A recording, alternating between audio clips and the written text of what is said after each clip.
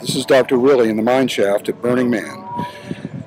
Here, what you have in front of you is the recreation of an expedition we took south of the equator, 2,000 miles west of the Society Islands, about in the middle of nowhere.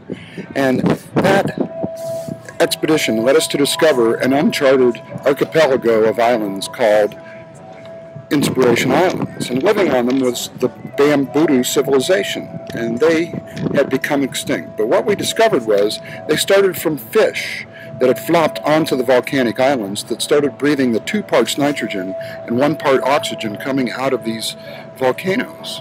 And over millions of years, they evolved into a little humanoid figure called the Bambutu civilization. The Bambutu civilization we know came from fish because they had three chamber hearts.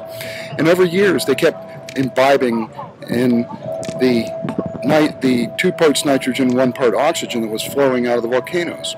They found a green substance on the side of the volcano that they used to imbibe in, and as their rite of passage, they would go up into the volcano, and they would go down into the volcano, and their rite of passage was realized if they made it back out of the volcano.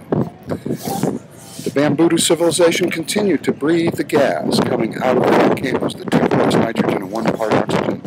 Eventually, the Bambutu civilization went extinct from laughing.